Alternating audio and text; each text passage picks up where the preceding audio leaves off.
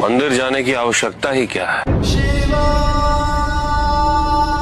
महादेव की आराधना के लिए किसी स्थान की अनिवार्यता नहीं है। वो तो कभी भी, कहीं भी, किसी भी समय की जा सकती है।